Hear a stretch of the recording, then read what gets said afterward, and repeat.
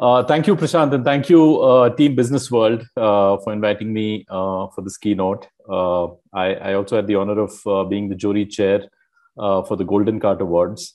so I'd like to thank my fellow jury members. I guess some of them were there today with you. we had good fun judging, I think, close to 60 entries. Um, and it was, yeah, it was actually quite insightful uh, going through all the entries and looking at the kind of work uh, happening in the ecom space. I know I stand between uh, you and uh, the award, so I'll just keep this uh, very brief. I thought what I'll share with you, uh, you know, are some trends, interesting data that we've got from some of our internal reports at WPP, as well as Kantar, and of course some of our learnings in terms of you know how brands could capitalize on this uh, e-com wave. Uh, I'm sure you've had uh, lots of experts come, you know, and and and share their insights with you. And I was listening in very keenly on the last panel discussion. and so maybe this is a session that will, in a way, sum things up as far as e-com and the opportunity of e-com is concerned.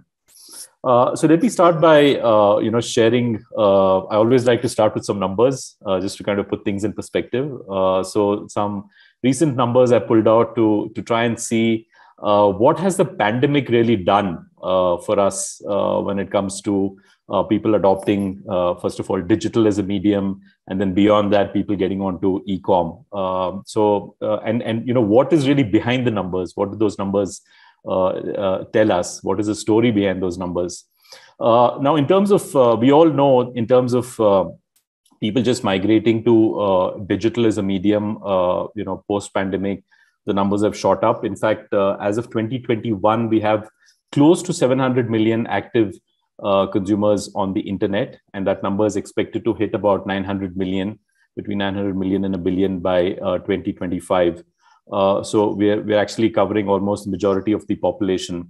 And it's interesting to note that since the outbreak of the pandemic, the number of uh, e-com users India has added has gone up by 51%. Uh, 51% growth, uh, you know, on, on, on e-com in terms of number of users. And if you actually dig into the numbers, it's very interesting to see where the growth has come from. Most of the growth in the last one and a half, two years have come from rural towns and have come from lower NCCS segments.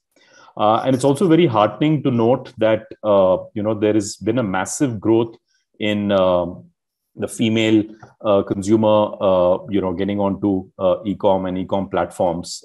in fact, there was a bit of a skew a couple of years ago, and our data is telling us that across both urban and rural India, those skews are kind of vanishing now, and it's almost uh, you know equal in terms of uh, you know uh, e-com kind of usage so which is which is a which is a very good sign uh, if one looks at the drivers of uh, e-com uh, in India, you know very clearly what has, I mean, obviously the the pandemic and you know people being at home and you know some some years ago the fact that you know data prices crash, you know all of that has a has a role to play. Uh, but apart from all of that, uh, you know, online finance uh, we, we we think has been the biggest driver, and this of course includes digital payments. And this whole digital payment revolution has really helped, uh, you know, fast track growth. In fact, 37% of urban India today uses uh, e-wallets and UPIs, as per as per our data and and therefore you know going on from there uh, which is digital payments and, and online finance online shopping and uh, you know the rate at which that has grown. In fact uh, since the pandemic started online shopping has grown 64% and uh, today one in three internet users uh, in india is uh, regular online shopper. These numbers were very very different a couple of years ago as as all of us know. And you know there are a lot of things that have happened post pandemic and uh, we often get asked uh, you know which are the changes that will stick and which are the changes uh, that are transient. Uh, we don't think uh, this migration to online shopping is transient. We think it's here to stay.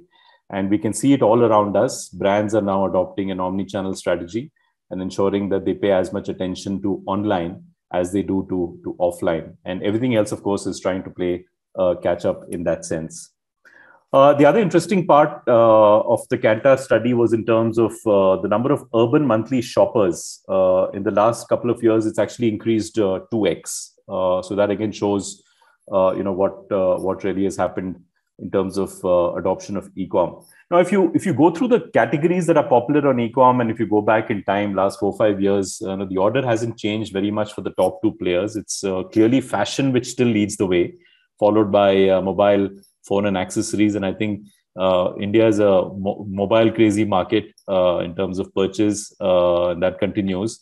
But very surprisingly, groceries has now moved up to the third position. it's the third most bought or consumed uh, product or service on on ecom. The numbers are quite startling, actually. Uh, and, you know, again, this is from the Kantar iCube study. One out of every two grocery shoppers actually comes from towns of less than five lakh uh, population. So, uh, so there are two things here. Not just groceries come up to number three, but uh, almost half of the shoppers are actually coming from the smaller towns. Earlier, as we know, it was pretty much dominated by the top eight metros, which is why we are seeing a lot of uh, players uh, go into hyperlocal uh, uh areas. And I, I think hyperlocal is again a, a, trend that we've seen, especially uh, post the pandemic.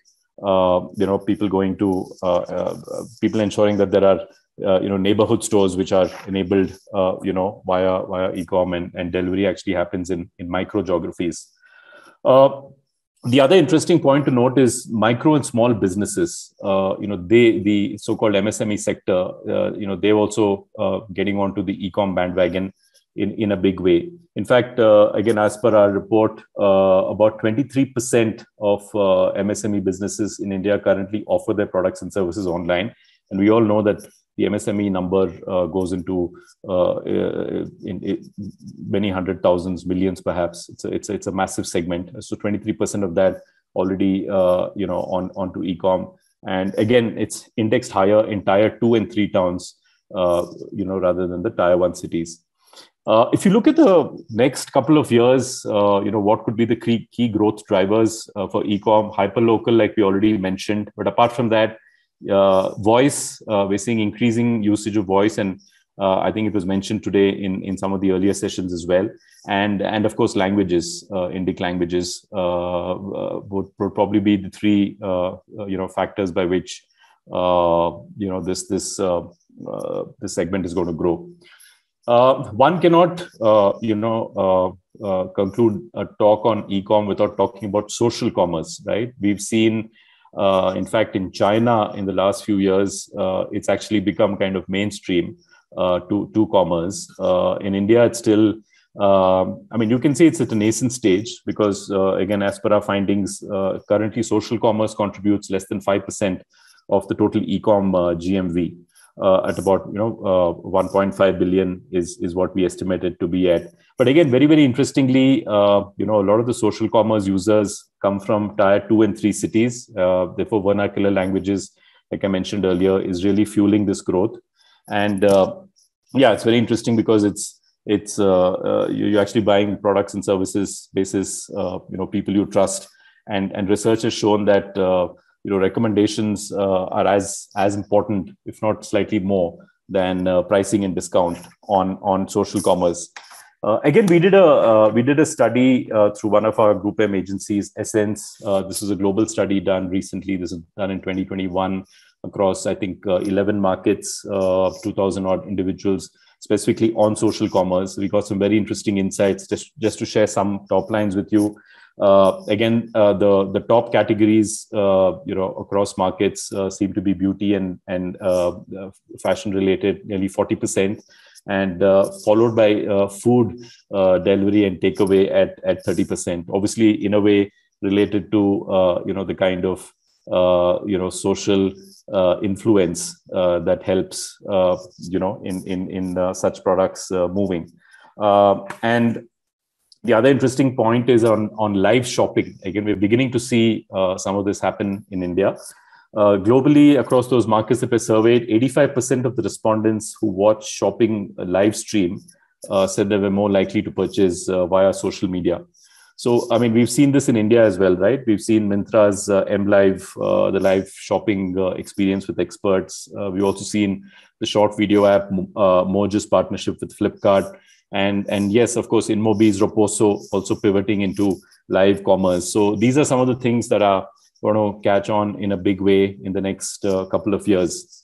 Uh, and if one digs a little deeper into China, which really is uh, the lead market when it comes to social commerce, some interesting uh, points to note, which probably will be the way we will go as well. One is the group buying model, uh, which is really matured uh, in China. In fact, there are different platforms for shopping with family and friends.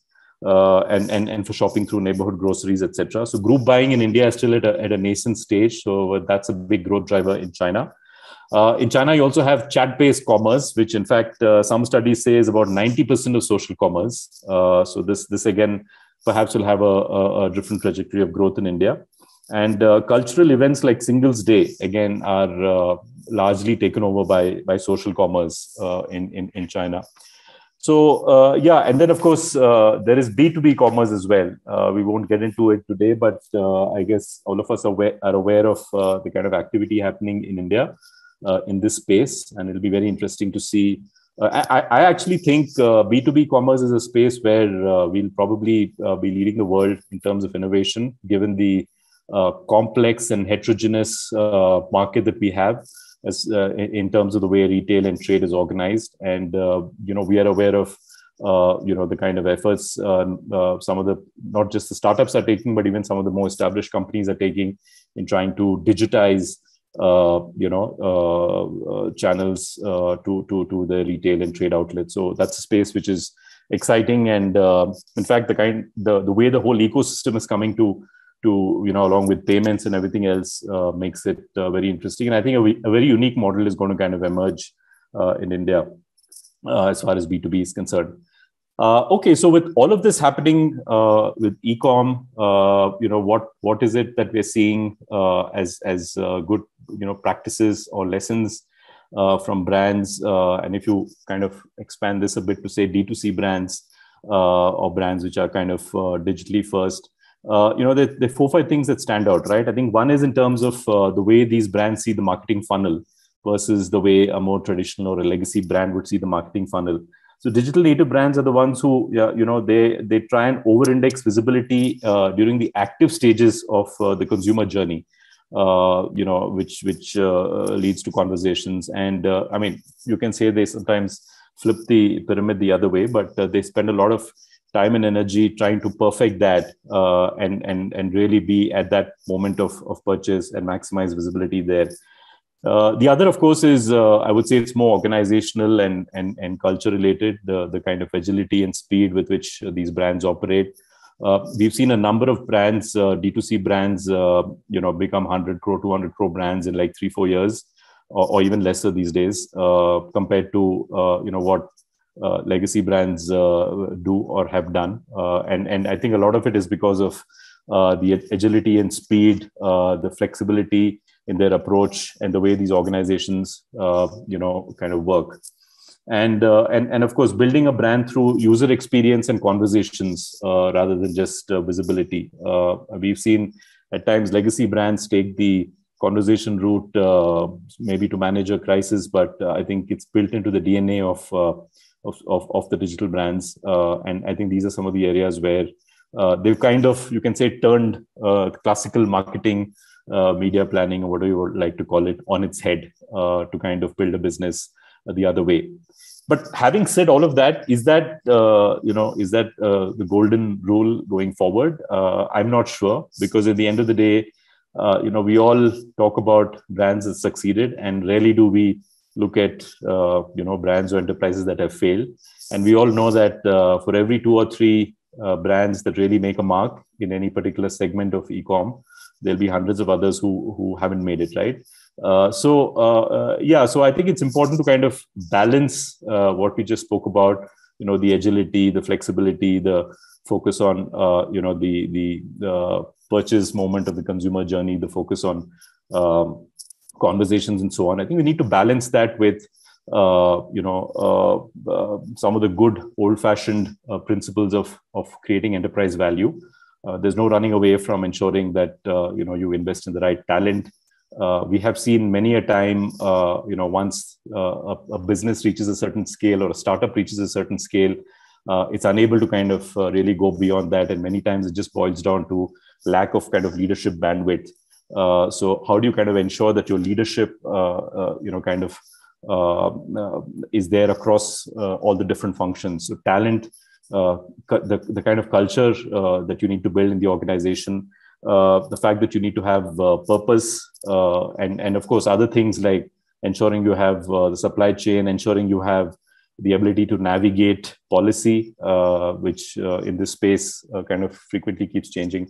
So I think it's a lot of that as well. And uh, if one uh, probably analyzes why there are only two or three or maybe at max four successful players uh, in any of these subsegments and, and, and looks at looks at the reasons, I think it's more of these that will come out than anything else. So I think at the end of the day, it's uh, one needs to kind of balance out both uh, to ensure that uh, as a brand you create value uh, in this in this new world order.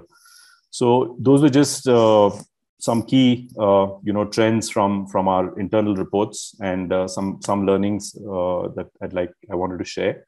So yeah with that it's it's back to the organizers. And again thank you business world for having me as part of this event Do fundo.